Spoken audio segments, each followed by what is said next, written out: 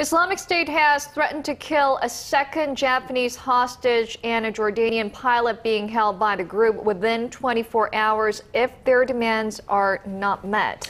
The group wants a prisoner swap for a failed female suicide bomber detained in Jordan. The Japanese government says it's doing all it can to bring Mr. Goto home. Our Ji Myung-kil has more.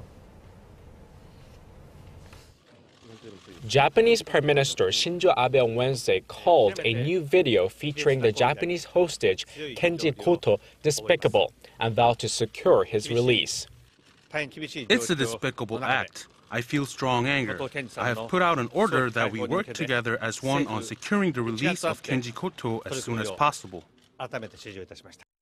The two minute video, which was posted on YouTube on Tuesday, demands the release of Sajida al Rishawi, an Iraqi woman sentenced to death in Jordan for her involvement in a 2005 hotel terror attack.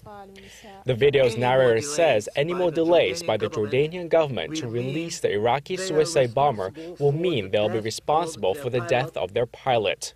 The Jordanian pilot was captured after his jet crashed in Syria last December during a bombing mission against the militants.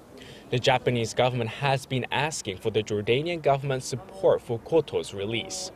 In a previous video uploaded on Saturday, a voice purported to be Goto's announced that Islamic State militants had executed fellow Japanese hostage Haruna Yukawa, who was seized in August. Goto is a freelance journalist who was taken hostage in Syria in October while trying to rescue Yukawa. Ji Myung-kil, Arirang News.